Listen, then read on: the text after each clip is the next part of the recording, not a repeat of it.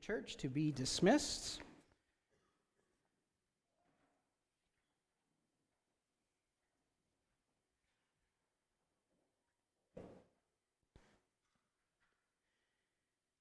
And we'll take some time uh, to pray together. Uh, just an update on uh, Marg Waits, you may have seen on the prayer chain.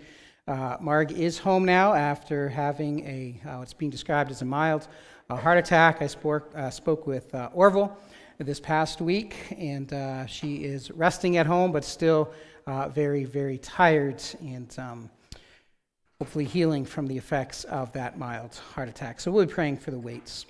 let us go to prayer. Heavenly Father, we thank you again for this time. We thank you for this time of year where uh, we focus on the coming of your Son, Jesus Christ, his first coming, and all that that means. That, uh, as we have just sung, uh, the infant and the infinite, where uh, God, you sent your Son, uh, who left his place in heaven, who uh, left that fantastic and wonderful atmosphere to come to earth in the form of a human baby. Lord, how uh, miraculous that is, how remarkable that is, that you would take that great step to send your Son for us. Lord, help us to remember that there is no cradle without the cross, there is no cross without the cradle, that that all was part of your plan. And as he comes and we celebrate that coming, we are reminded as to why he came so that he would die for us. So, Lord, we are grateful. We are uh, joyful for this tremendous act of love and mercy on your part. So we can sing joy to the world. The Lord has come. Lord, there are a number of our people who are uh, just faced with a number of challenges at this time, and we just want to pray for them. We think specifically of the Waits. We thank you that Marg is home and she is resting there now and uh, much more comfortable than being in the hospital. But we pray, Lord, for your hand of healing to be upon her. Uh, be with Orville as uh, he cares for her, Lord, and we just thank you um, that they are part of this church family. And we just ask, Lord, that they would know uh, that you are with them. Lord, I want to pray for Vi Holly. Uh, and Lord, as she just continues to uh, grieve the loss of Ralph, we pray, Lord, that you would just comfort her. We thank you for her sons and daughters in law who, who are there and caring for her and comforting her.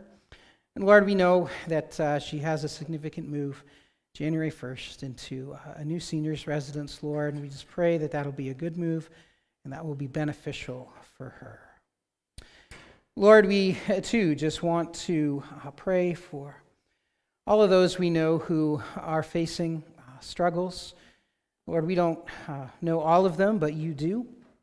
Lord, we just pray that at this time, this season, Lord, that they would just be reminded of who Jesus is. Put their faith and their trust in you. Lord, we pray uh, against the strongholds in our community as we've been doing over the last few weeks. There are so many of them. Uh, today, I specifically think of uh, domestic abuse and how there are uh, people living in fear of uh, their uh, spouses and their domestic relationships, Lord. And Lord, I pray that uh, you would just help those who are experiencing that to be able to escape. Lord, predominantly it's women and children affected by this, but there are also women who are abusers of uh, their male counterparts. And Lord, we just pray against this, that you will move again across this city in Brant County, that this will be reduced and people will come to you, that lives can be changed for the better. Lord, we pray for that across uh, the city that we live in. Lord, we just want to pray for uh, the Hope Pregnancy Center and Family Support Center. We thank you for the work that they are doing, the lives that are being changed as uh, women come in with crisis pregnancies and they're able to get help and they're able to get support and they're able to hear about the Lord Jesus Christ. So continue to bless them. And we thank you that we can partner with them in the work that they are doing. Lord, we pray too that. Um, as we look into your word briefly, that you would just open our eyes to what it is that you would have us hear, that the Holy Spirit would work among each and every one of us, that we would correctly divide the word of truth, Lord, and it may be an encouragement and a challenge to us. We pray these things in your Son's holy and precious name. Amen. At this time, I'm going to invite uh, Anna Brazier to come up, and she's going to read the scripture for us. Luke chapter 2, 8 to 20. If you're following along in the Pew Bible, you'll find it on page 1021. Yeah, yellow. Luke 2, 8 to 20. And in the same region there were shepherds out in the field, keeping watch over their flock by night. And an angel of the Lord appeared to them, and the glory of the Lord shone around them and they were filled with great fear. And the angel said to them, Fear not, for behold, I bring you good news of great joy that will be for all the people. For unto you is born this day in the city of David a Savior, who is Christ the Lord. And this will be a sign for you you will find a baby wrapped in swaddling clothes and lying in a manger. And suddenly there was with the angel a multitude of heavenly hosts praising God and saying, Glory to God in the highest and on earth peace among those with whom he is pleased. When the angels went away from them into heaven, the shepherds said to one another, Let us go over to Bethlehem and see this thing that has happened, which the Lord has made known to us. And they went with haste and found Mary and Joseph and the baby lying in a manger. And when they saw it, they made known the saying that had been told to them concerning this child. And all who heard it wondered, wondered at what the shepherds had told them. But Mary treasured up all these things, pondering them in her heart. And the shepherds returned, glorifying and praising God for all they had heard and seen, as it had been told them. This is the word of the Lord. Scripture this morning as well. I just encourage you, if uh, you did happen to close your Bibles, that you'd open them again to Luke chapter 2. And we will be looking at verses 8 to 20, as well as a few other passages from the Gospel of Luke. So now it's time for our quiz, and we're going just to uh, ask a few questions about the last two sermons. So hopefully you remember more than just the words that we have been looking at. So the first candle of Advent is hope. Yes, very good. Very good. All right, and uh, we found out that uh, Jesus is the hope of the nations, that Jesus is the hope of glory, and that as believers we are to what in hope? Abound. Yes, we are to abound. It's not something that we just have a little bit of, but it is something that we are to have a lot of. The second candle is peace. Yes, that's right. Okay. And we found out that without peace, what did Luke chapter 1 tell us when uh, Zechariah was singing the, what we know as the Benedictus, right? He said that we were in what? Darkness, right? We are in darkness and we are in disorientation. And we found out that peace is about relationships. First, our relationship with God, that it is important to have peace with God, and then peace with one another. And we found out as well that peace was, can we remember? Thank you. Somebody has their notes open. Yes, excellent. Well done, Sandy. Well done. It is transcendent. It covers all situations and circumstances that we may find ourselves in, that we can have a peace that passes understanding, even when we don't know what God is doing, when things in our lives are challenging and difficult. We can have a peace that is transcendent, that passes all understanding. Now we're going to look at our third candle. And what is our third candle? Joy. All right. Again, it's the, uh, you look at that. I was about to light this one, and that's wrong, by the way. And we're going to talk about it in a while. The pink one is always the third candle. And this is joy. This is called the Gaudete candle, means rejoice, because when Mary sings, in Luke chapter 1 about what God has done to allow her to be the mother of the Messiah. Her heart rejoices, and the Latin word for rejoice is gaudete. And I just want to talk a little bit uh, about the wreath because we look at it, but the wreath is just full of meaning. It's not just something pretty that we drag out every Advent season. The whole wreath has meaning. So, all of the colors of the candles have meaning. Uh, the wreath itself is round, right? Referencing the uh, eternality of God. And just switch this a little bit so we're caught up to date, right? So, we look at the eternality of God. Um, but not only that, uh, it is green meaning life, right? Evergreen, it stays green throughout the winter season. The other trees lose their leaves, but evergreens contain and continue to carry on with green. So is green, meaning life. It is round, signifying the eternality of God. Purple represents what? Does anybody know?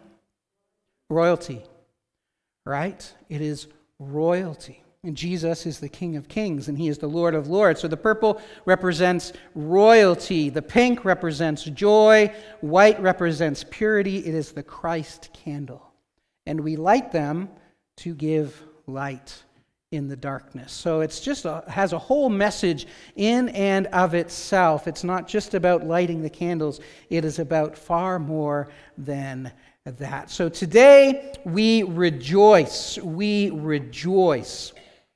Um, and as we move through our Advent preaching series, something should be coming, uh, should be coming apparent. Christians should be the most hopeful people, right? As believers, we should be the most hopeful people.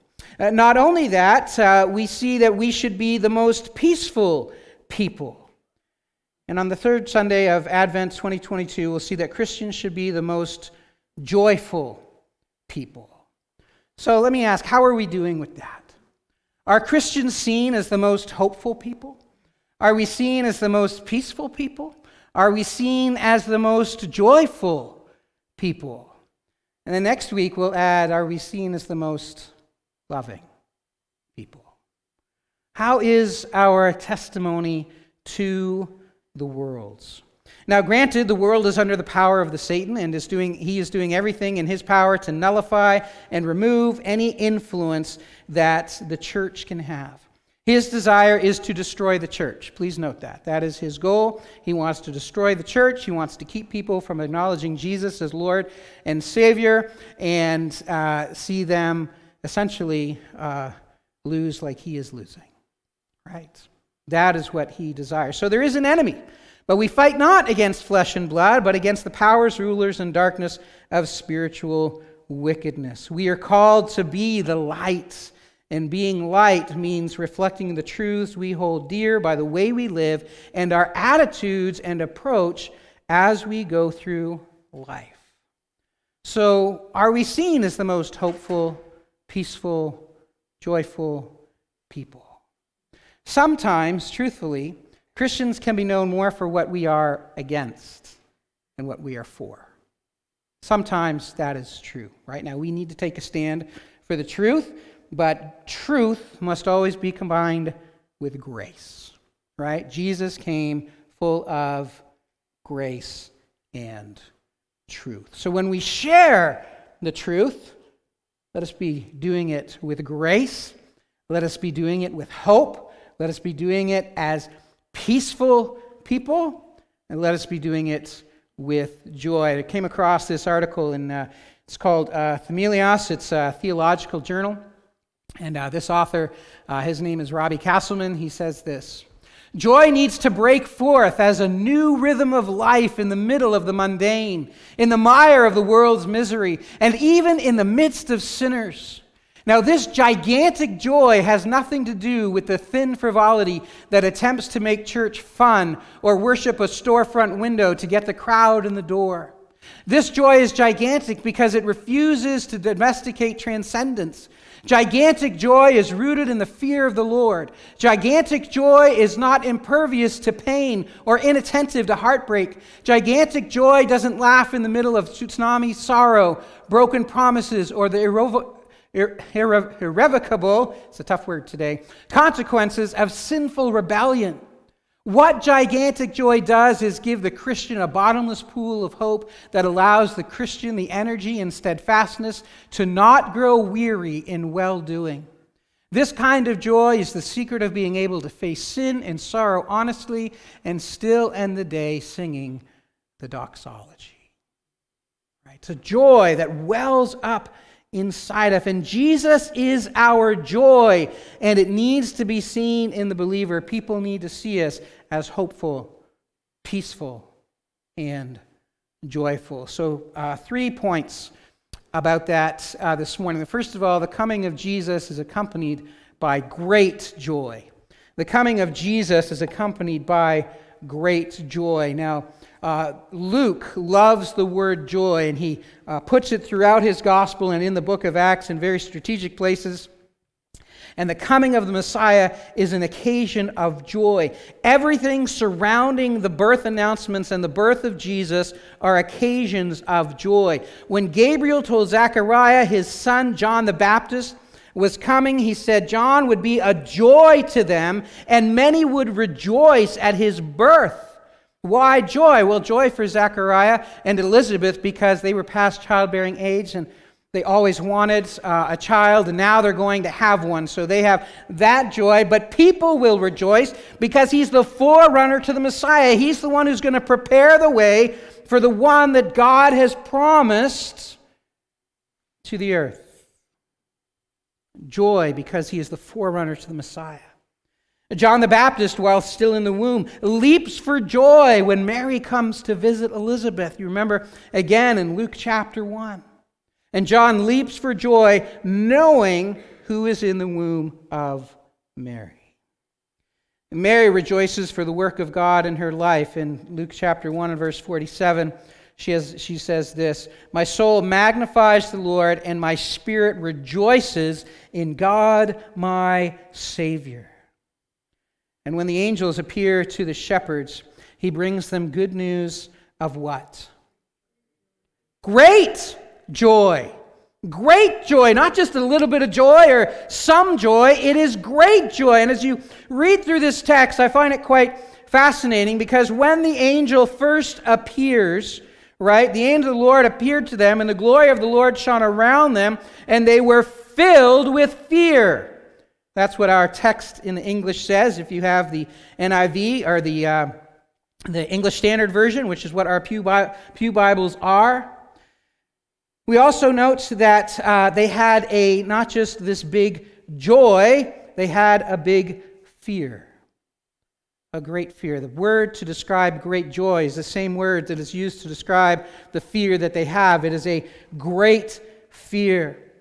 But what overcomes mega fear is mega joy. What overcomes mega fear is mega joy. And this word mega in the Greek means big, exceedingly great, greatest, high, large, loud, mighty, strong. It's a lot of joy. Right? Maybe you hear these days as we head towards Christmas about a mega sale or a mega deal. What about mega joy? Mega joy, that is what the angel of the Lord is describing to these individuals. And when they first see the angels, it said they are filled with fear. The NIV says they're terrified. In the King James, it says that they are sore afraid. And then we see in a, uh, another translation that is filled with terror. The literal translation here is that they feared a great fear. They feared a great fear. But the angel didn't come to make them afraid, he came to give them great joy. The coming of the Messiah is a momentous occasion. A couple of years later, when the wise men eventually arrived to see Jesus, when Mary and Joseph are living in a house in Jerusalem in Matthew chapter 2. They'd been following a star and it stopped to rest over the house where Mary, Joseph, and Jesus were now living. And let's look at what the text says Matthew chapter 2 and verse 10. When they arrived at the house, it says, When they saw the star, they rejoiced exceedingly with great joy. It's joy that takes place because of the coming of the Messiah.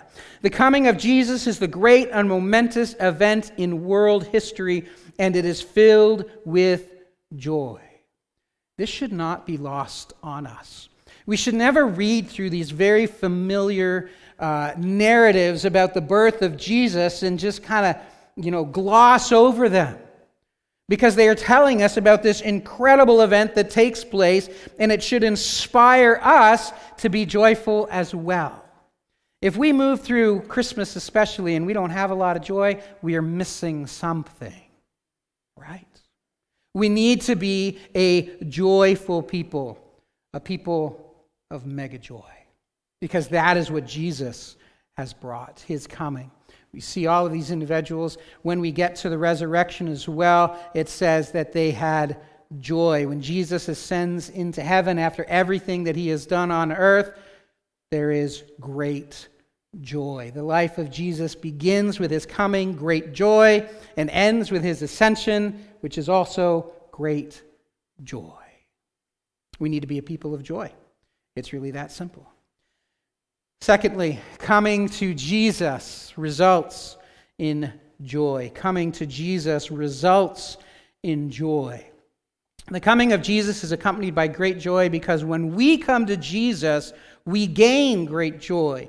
And this joy is not only experienced by those who put their faith in Jesus, but also in the heavenly realms. Isn't that remarkable. Think about Luke chapter 15 for a moment. Luke chapter 15 is the one that has uh, the parable of the lost sheep, it has the parable of the lost coin, and it has the parable of the prodigal son, the lost son. And if you read it carefully, you actually find out that both of the sons are lost in Luke chapter 15.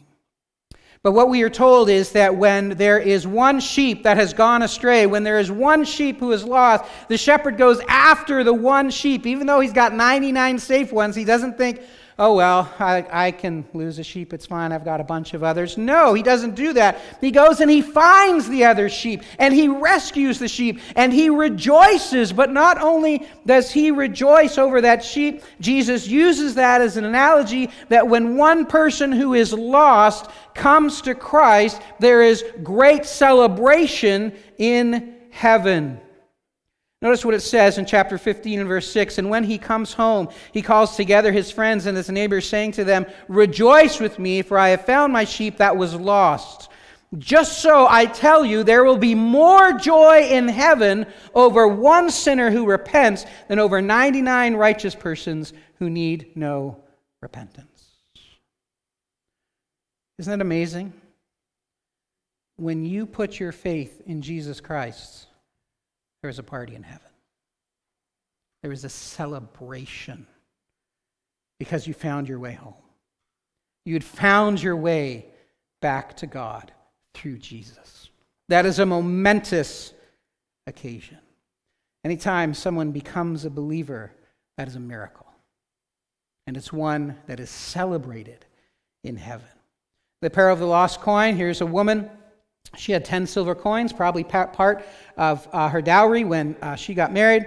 If she loses one coin, what does she do? She sweeps the house. She turns everything uh, upside down in order order to find it. She seeks diligently until she finds it. And when she has found it, she calls together her friends and neighbors, saying, Rejoice with me, for I have found the coin that I had lost. Verse 10 Just so I tell you, there is joy before the angels of God over one sinner who repents.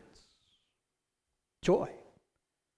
Joy for the sinner who repents, who recognizes they are going in one direction away from God and they need to turn that direction, and they do by the influence of the Holy Spirit, and they put their faith in God, and there is rejoicing. What does this tell us about God?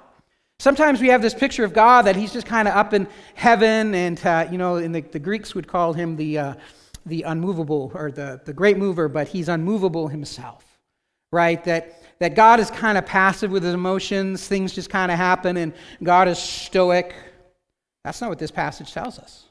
This passage tells us that God is, is excited when people get saved, that God experiences that joy when people get saved. Every time someone comes to Jesus, there's joy, and that is exemplified by the Father. You know the story, Luke chapter 15, the prodigal son. The son decides that uh, he doesn't want to wait for his father to die, so he goes to his dad and says, Dad, give me my inheritance.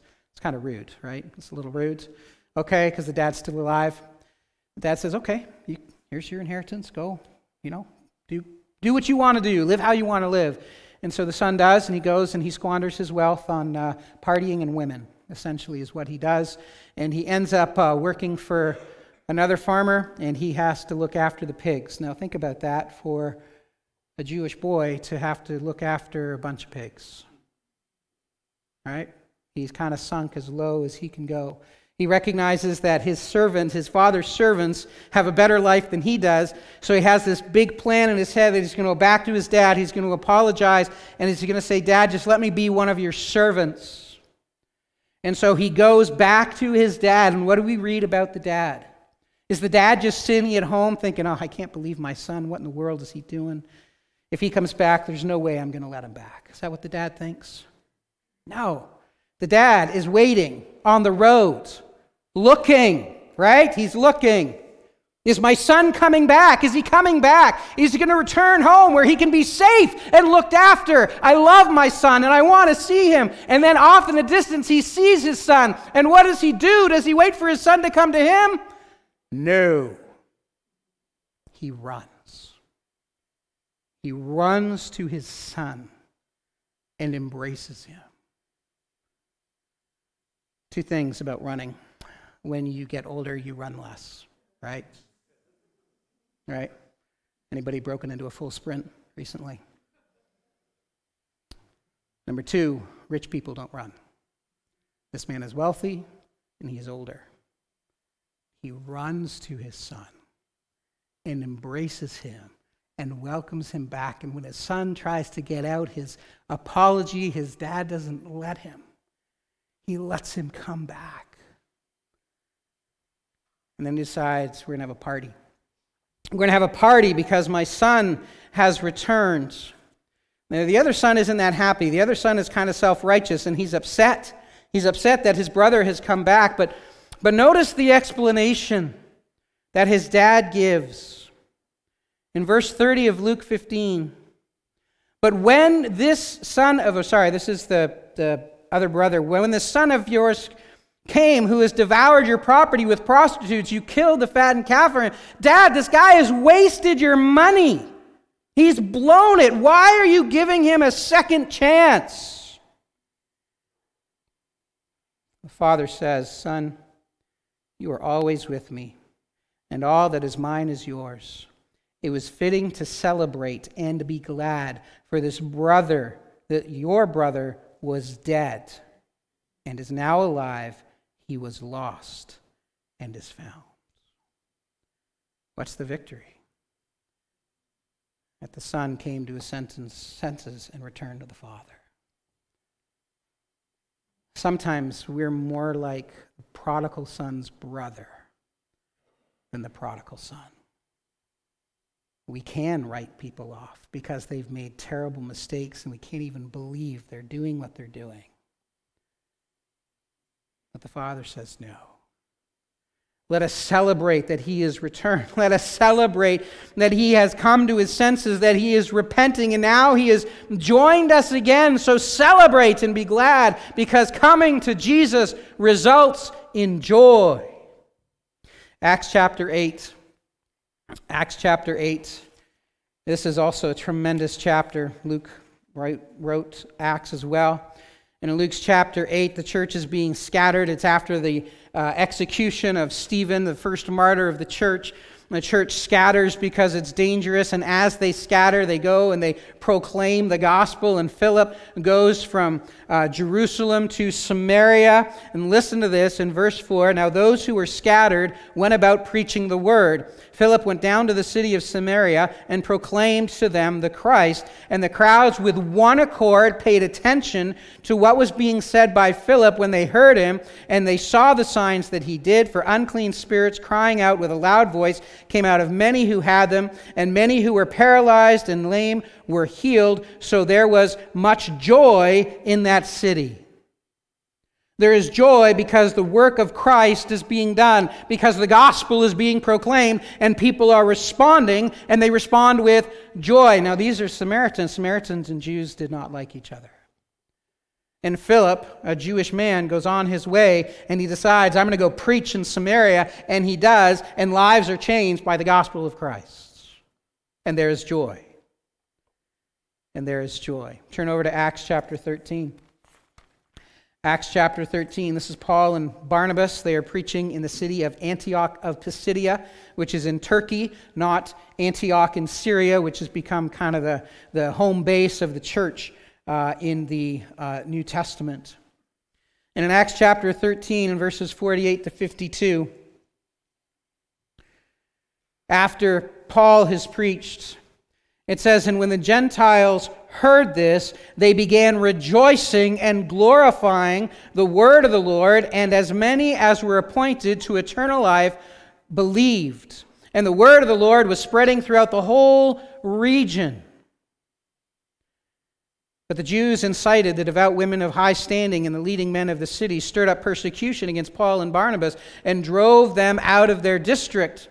But they shook off the dust from their feet against them and went to Iconium, and the disciples were filled with joy and with the Holy Spirit because the Word of God was being preached and people were coming to Jesus.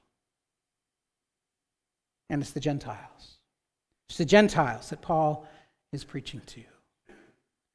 Though they faced opposition, those who received the gospel did so with great joy. Why? Because they received eternal life.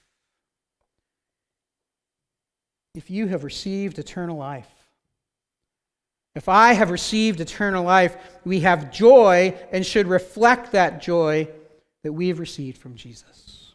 We are to be a joyful people. Finally, Christian joy is a quality grounded in God and helps us to persevere. Joy is not an emotion. It is deeper than that and it transcends happiness. It should characterize our lives on earth and also anticipates being with Christ forever. We can be joyful even in trials. You ever read James 1 2?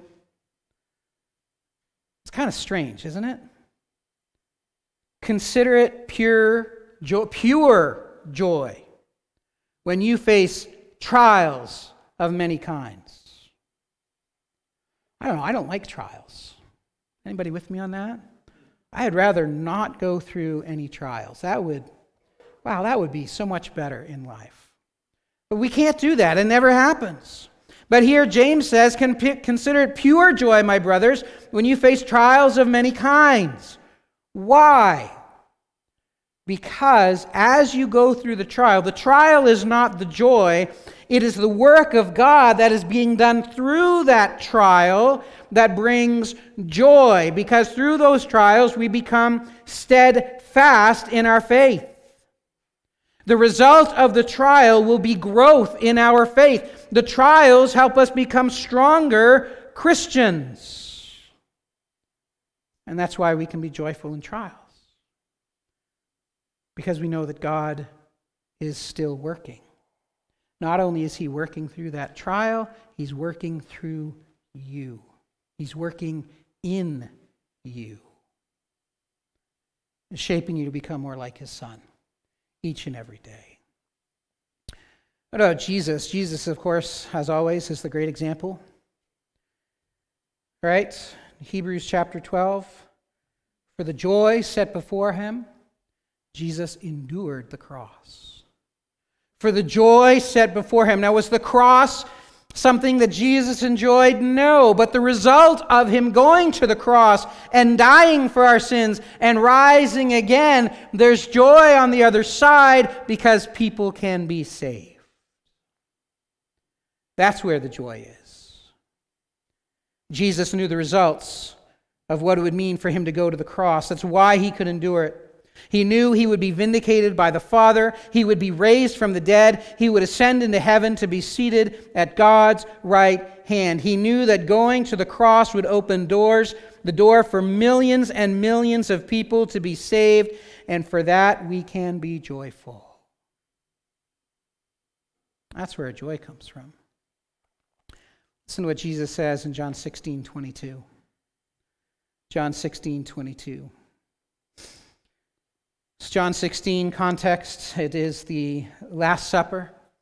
And Jesus is about to go to the cross. He's about to die. And so From John 13 to John 16, we get an inside glimpse of what's going on during the Last Supper where Jesus teaches his disciples.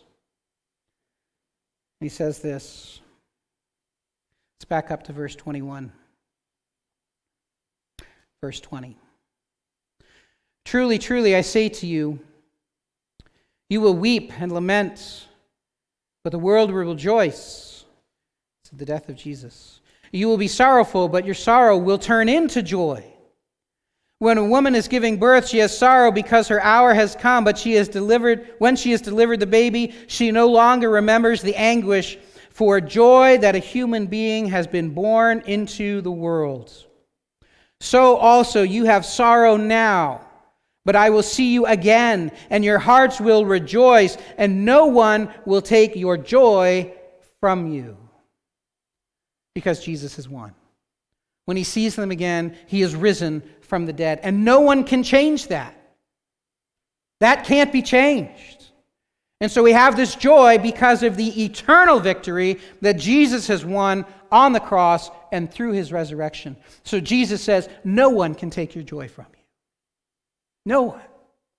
Because what I've done is permanent and it is eternal.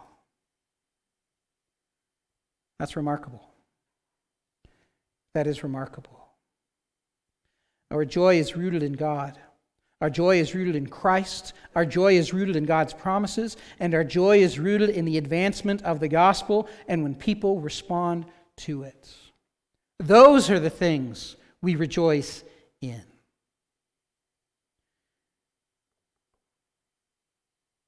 The nature and properties of this joy that we receive from Jesus Christ.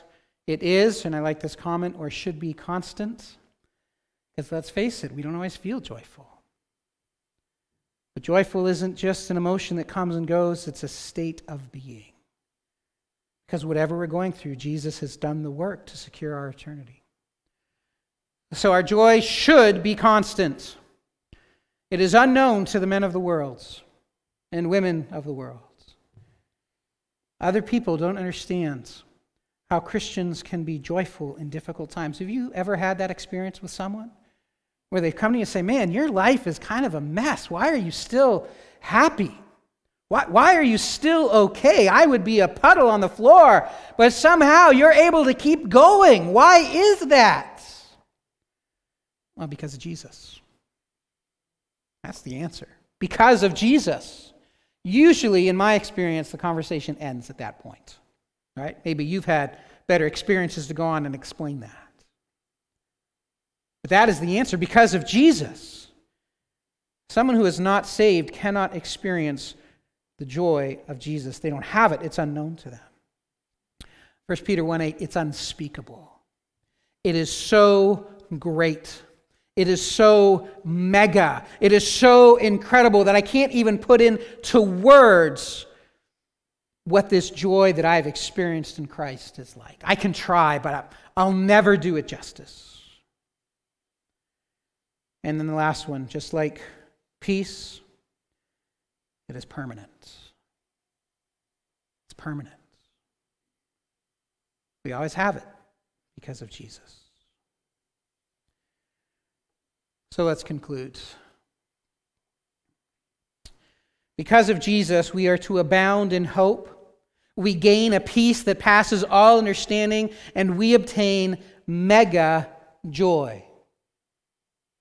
We have a hope that we are to abound in. We have a peace that passes all understanding, and we obtain mega joy.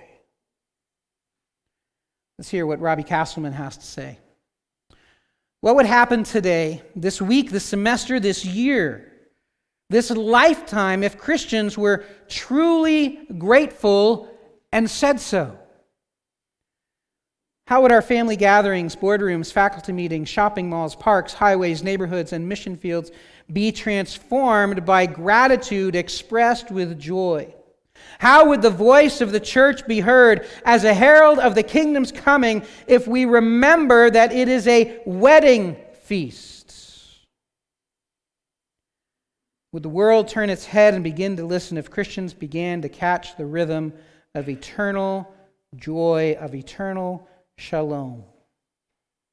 Would the sinner, the sorrowful, the sojourner, the cynic, the bored to death, and the sick of life take notice of a joy so gigantic that it couldn't fail to love them? I don't know about you, but if as a church we can show that kind of joy and that kind of peace and that kind of hope to this world, well, some lives are going to get changed. Some lives are going to get changed. So let us remember we have been given a great joy, and let us show it to the world. Let's pray.